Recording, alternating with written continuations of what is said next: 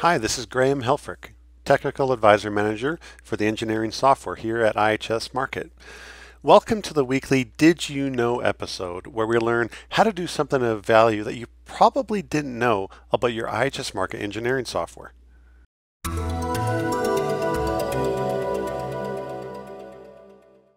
Today's episode is about using buildups, even if they're unplanned, to help refine and add certainty to your reservoir characterization or complementing the work you're doing with RTA.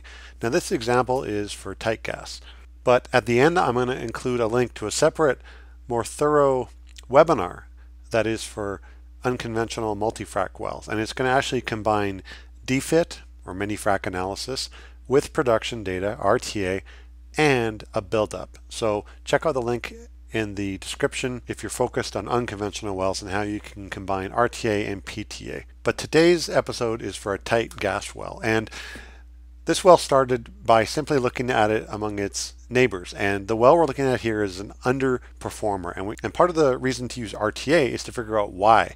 Does it have to do with liquid loading? Does it have to do with the fracture half-length being very short? Is it the drawdown, etc.? So we're going to use RTA to help determine the answer. So this is our tight gas well. We have we have about seven years of production history. And this well actually had some downtime where there was a plant that was shut in. And so there was a buildup period here. And even though we were using surface pressure gauges, we're able to convert those pressures down to bottom hole conditions here. So yes, it's great if you have measured bottom hole pressures, but there are cases where you can also use a surface gauge like we have here. So let's start our analysis. We'll start by doing our flowing material balance. Now, the data is a little bit noisy here, so something I can do to help add some certainty is by doing a history match, in this case on the gas rate. Okay, so we can see depending how I make my interpretation here, it, the gas rate model match can help me refine it. So I think I'm going to end up with about right here. So this is going to be about 97 acres of drainage area or about 4.8 BCF. That's it for FMB. Next, I'm going to try to look at a type curve. I'll use a Blasingame type curve. Okay, so I can see when I'm moving my data around, this looks like maybe a reasonable match, but the data is quite scattered and I'm going to have a really hard time getting much confidence in which of these transient type curves I should use. And that means that the resulting permeability and XF I get also has a lot of uncertainty. Okay. Now it is nice to see that my area is pretty similar to what I got with my FMB. So that's good. But the transient properties, permeability and damage, I have some uncertainty about. So this is where we can take advantage of that buildup that happened right here. So all we're going to do is go export to WellTest. WellTest is our powerful pressure transient analysis software for doing DFITs, test design, build-up, drawdown analysis, and even deconvolution. So we're going to export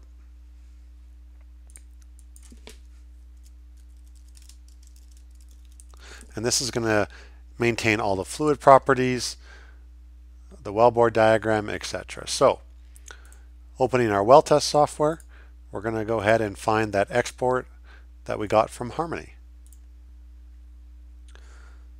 So here we are in WellTest. We see the production history, the buildup, and then the later production history. We're going to go ahead and do some diagnostics here. Now I need to pick my flow period as the buildup. We'll expand the derivative here. I'm going to start by doing a radial diagnostic and we see we are not quite in radial flow yet, but I'm going to put this here just as a way to estimate my maximum permeability. Now I'm going to do a linear fracture or half slope diagnostic check on the buildup. Okay, so if I input my assumed permeability that I got here from my radial analysis, we get a fracture half-length of about 104 feet. Now this value is quite a bit lower than all of the other wells in the area that we've done RTA on. So this is starting to explain maybe why this well is underperforming.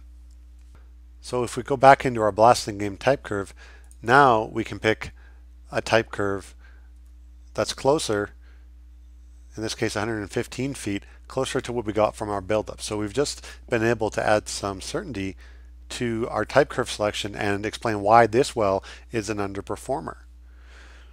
Now, if we want to predict the impact of going back and maybe refracking this well and increasing the fracture half length, it's really easy. We're going to go to our forecast with right within the Blasingame type curve itself. So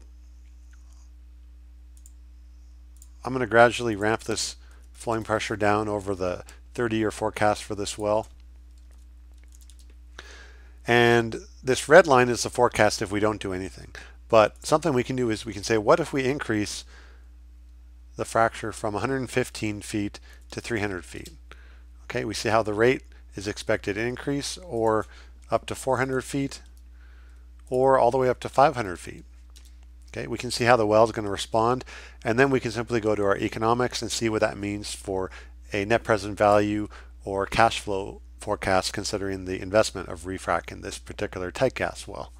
So I really just wanted to highlight how when we have some noisy data and we have a difficult time figuring out which of these transient type curves to pick, if there's a buildup in the well's history, even if it's unplanned, we're able to go export, get everything out to WellTest, focus on the buildup, and do some diagnostics to help refine and add certainty to those transient properties.